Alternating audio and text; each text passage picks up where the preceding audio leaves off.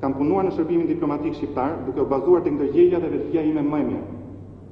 Personalisht jam i kënaqur me rezultatin e punës sime gjatë këtyre 4 viteve e gjysëm, si ndaj komunitetit shqiptar, ashtu edhe ndaj palës austriake dhe asaj ndërkombëtare. Mendoj se për mua ky është çasti i duhur për t'u tërhequr nga shërbimi ndaj interesit publik. Për këto arsye, jap sot para jush dorëheqjen time të parevokueshme nga detyra e nëpunësit të shtetit shqiptar.